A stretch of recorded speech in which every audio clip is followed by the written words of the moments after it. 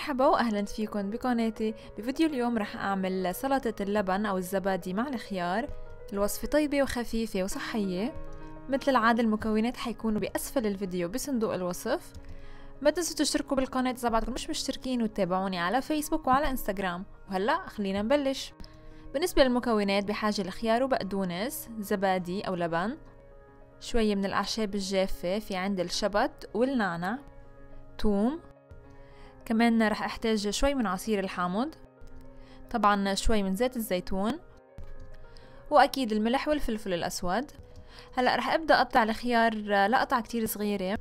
هلأ في ناس بتفضل إنها تشيل البذور أو اللب من الخيار بس أنا بفضل إني خليه كمان في منهم بيبرشوا الخيار بس أنا بفضله مكعبات. كمان حأفرم البقدونس فرم ناعم. ممكن حتى تفرموا شوي من النعنع الطازج. فهلا المقادير صارت عندي كلها جاهزة. ما علي غير إني ضيفهم كلهم لنفس الوعاء. عندي هون اللبن أو الزبادي رح ضيف عليه الخيار والبقدونس.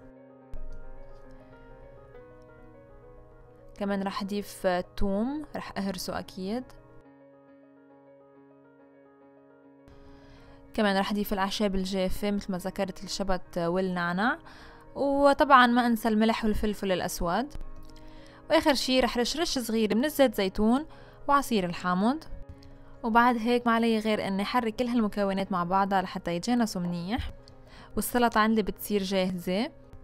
هلا هيدي الكمية اللي عملتها يعني لشخص واحد.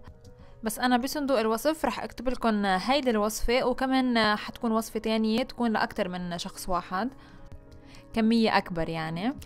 فهيك بنكون وصلنا لنهاية الفيديو. بتمنى يكون عجبكم بتمنى تكونوا حبيتوا الوصفة البسيطة والطيبة.